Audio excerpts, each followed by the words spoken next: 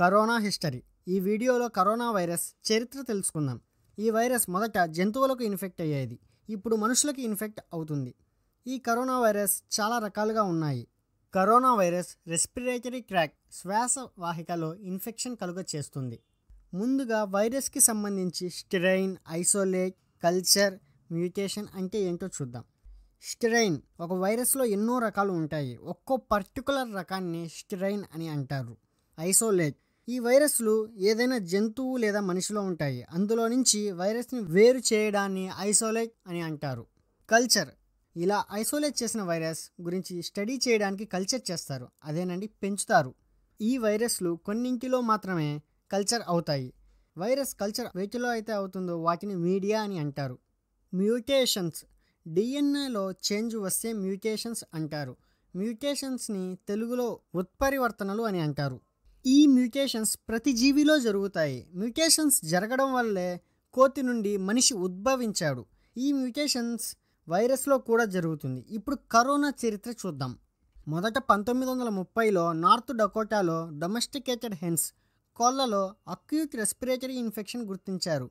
ఈ acute respiratory infection infectious bronchitis virus వల్ల వస్తుందని పరిగణించారు. పంతొమ్మిది వందల నలభైలో ఎలుకలో మౌస్ హెపటైటిస్ వైరస్ కనుగొన్నారు. ఇది ఎలుకని ఇన్ఫెక్ట్ చేస్తుంది. ఈ స్ట్రెయిన్ని మ్యూరిన్ కరోనా వైరస్ అని అంటారు. పంతొమ్మిది వందల నలభైలలోనే ట్రాన్స్మిసిబుల్ గ్యాస్ట్రో ఎంటరైటిస్ వైరస్ని కనుగొన్నారు. ఇది పందులను ఇన్ఫెక్ట్ చేస్తుంది. అప్పట్లో తెలియదు ఈ మూడు వైరస్లు ఒకే జాతి కరోనా జాతికి చెందినవి అని. నైన్టీన్ సిక్స్టీలో మొదటిసారిగా హ్యూమన్ కరోనా వైరస్ కనుగొన్నారు. ఈ వైరస్ని జలుబు చేస్తున్న పిల్లాడి నుండి ఐసోలేట్ చేశారు. దీనికి బి ఎయిట్ ఫోర్టీన్ వైరస్ అని పేరు పెట్టారు. అప్పుడు జలుబుకి సంబంధించిన వేరే వైరస్లని కల్చర్ చేసినట్టుగా ఈ బి ఎయిట్ ఫోర్టీన్ని కల్చర్ చేయలేకపోయారు. పంతొమ్మిది వందల అరవై ఐదులో టైరెల్ బియోన్ ఈ వైరల్ స్ట్రెయిన్ని హ్యూమన్ ఎంబ్రియానిక్ ట్రేకియాలో కల్చర్ చేయగలిగారు. ట్రేకియా అంటే మనం ఊపిరి తీసుకునే శ్వాసవాహికలో ఒక పార్ట్. ఇలా కల్చర్ చేసి ఐసోలేట్ చేసిన వైరస్లని వాలంటీర్కి ముక్కు ద్వారా పంపారు. వాలంటీర్కి నార్మల్ జలుబు చేసింది. ఈ జలుబు ఈతర్ వల్ల తగ్గింది. ఆ రోజుల్లోనే Dorothy Hamre John Procknow Chicago యూనివర్సిటీలోని medical స్టూడెంట్స్లో ఇంకో వైరస్ని కనుగొన్నారు. దీనికి టూ ట్వంటీ నైన్ ఈ అని పేరు పెట్టారు. బి ఎయిట్ ఫోర్టీన్ స్ట్రెయిన్ని క్రేకియాలో కల్చర్ చేశారుగా. అలాగే టూ ట్వంటీ నైన్ ఈ స్ట్రెయిన్ని కిడ్నీ టిష్యూలో కల్చర్ చేశారు. బి ఎయిట్ ఫోర్టీన్ లాగే ఈ వైరస్ కూడా జలుబు కలగజేసింది ఈథర్ వల్ల తగ్గిపోయింది. ఈథర్ అనేది ఒక మందండి జస్ట్ పారాసెటమాల్ లాగా అది కూడా ఒక డ్రగ్. నైన్టీన్ సిక్స్టీ సెవెన్లో జూన్ ఆల్మీదా అనే స్కాటిష్ వైరాలజిస్ట్ ఎలక్ట్రానిక్ మైక్రోస్కోప్ కింద చూసినప్పుడు బి ఎయిట్ ఫోర్టీన్ మరియు two twenty nine E strains వాటి స్వరూపం లేదా ఆకారాల్లో విలక్షణమైన స్పైక్స్ కలిగి ఉన్నాయి. ఇప్పుడు అండర్స్టాండింగ్ పర్పస్ కోసం చెప్తున్నాను. ఈ వైరస్ దతుర ఉమ్మెత్తకాయలా ఉంటే దానికున్న ముళ్ళు ఉంటాయి కదా అవి స్పైక్స్ అన్నమాట. ఈ స్పైక్స్ ఎలక్ట్రానిక్ మైక్రోస్కోప్ కింద క్రోన్ కిరీటం ఆకారాన్ని పోలి ఉన్నాయి. కరోనా అంటే లాటిన్ భాషలో క్రోన్ కిరీటం. అందుకే ఈ వైరస్లకి కరోనా వైరస్ అని పేరు పెట్టారు. మనం మొదట చెప్పుకున్న infectious bronchitis virus IBV strain కూడా B eight fourteen two twenty nine E లాగా స్పైక్స్ కలిగి ఉన్నాయి. ఆ కాలంలోనే మరో రీసెర్చ్ గ్రూప్ వాళ్ళు ఈ వైరస్కి సంబంధించిన ఇంకో స్ట్రెయిన్ని కనుగొన్నారు. దీన్ని ఆర్గాన్ కల్చర్ చేయగలిగారు. దీనికి ఓసీ ఫార్టీ త్రీ అని పేరు పెట్టారు. ఓసీ అంటే ఆర్గాన్ కల్చర్ ముందు చెప్పుకున్న B eight fourteen two twenty nine E infectious bronchitis virus strains లాగే ఓసీ ఫార్టీ త్రీ స్ట్రెయిన్కి కూడా విలక్షణమైన స్పైక్స్ ఉన్నాయి. IBV strain infectious bronchitis virus strain. మనం మొదట చెప్పుకున్న మౌస్ హెపటైటిస్ వైరస్కి మ్యాచ్ అయ్యింది. Unfortunately B eight fourteen strain miss అయింది తర్వాతి దశాబ్దాలలో two twenty nine E OC forty three strains పైన రీసెర్చ్ జరిగింది. ఇప్పుడు ఒక చిన్న రీక్యాప్ వేద్దాం క్లారిటీ కోసం. కోడిలో infectious bronchitis virus ఐబీవీ ఎలుకలో mouse hepatitis virus MHV పందిలో transmissible gastroenteritis virus TGEV కనుగొన్నారు. మనిషిలో B eight fourteen two twenty nine E OC forty three viral స్ట్రెయిన్స్ని కనుగొన్నారు. ఆ తర్వాత రెండు వేల రెండులో సార్స్ కోవి స్ట్రెయిన్ని రెండు వేల నాలుగులో H CoV NL sixty three స్ట్రెయిన్ని రెండు వేల ఐదులో హెచ్ కోవి హెచ్కేయు వన్ స్ట్రెయిన్ని రెండు వేల పన్నెండులో మెర్స్ కోవి స్ట్రెయిన్ని కనుగొన్నారు. ఇప్పుడున్న కరోనా వైరస్ స్ట్రెయిన్ రెండు వేల రెండులో కనుగొన్న సార్స్ కోవి స్ట్రెయిన్కి ప్రతిబింబంలా ఉంది. అందువల్ల రెండు వేల పంతొమ్మిదిలో కనుగొన్న స్ట్రెయిన్కి సార్స్ కోవి టూ అని పేరు పెట్టారు. ఇప్పటి వరకు మనుషులలో ఎనిమిది రకాల కరోనా వైరస్లని కనుగొన్నారు. ఒకటి మిస్ అయింది. సో ఏడు రకాలు. అవేంటంటే human coronavirus two twenty nine E పంతొమ్మిది వందల అరవై ఐదులో కనుగొన్నారు.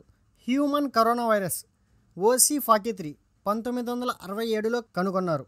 Severe acute respiratory syndrome coronavirus ఇది రెండు వేల రెండులో కనుగొన్నారు. Human coronavirus NL sixty three ఇది రెండు వేల నాలుగులో కనుగొన్నారు.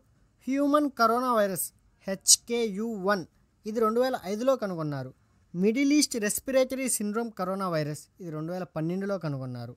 Severe acute respiratory syndrome coronavirus two ఇది డిసెంబర్ రెండు వేల పంతొమ్మిదిలో కనుగొన్నారు.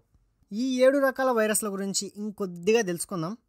Human coronavirus two twenty nine E ఈ వైరస్ మనుషులని గబ్బిలాలని ఇన్ఫెక్ట్ చేస్తుంది. దీనివల్ల కామన్ కోల్డ్ వస్తుంది. ఏదైనా వైరస్ శరీరంలోకి ఎంటర్ అవ్వాలంటే దేనికైనా బైండ్ అవ్వాలి. అదేనండి అటాచ్ అవ్వాలి.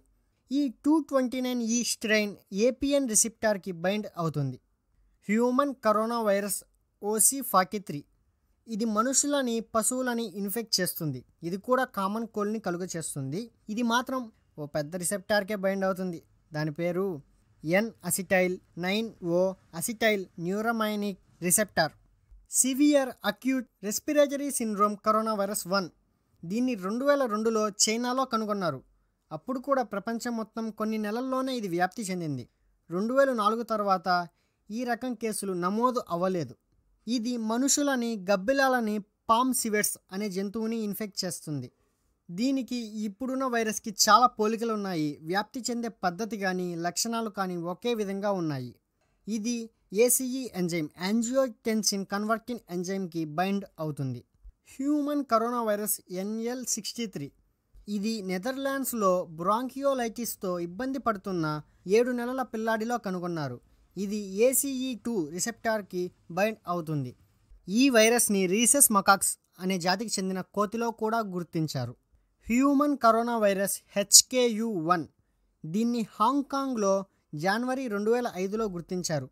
ఇది ఎలుక నుండి వచ్చింది. ఈ వైరస్ కూడా N acetyl nine O acetyl neuraminic acid రిసెప్టార్కి bind అవుతుంది.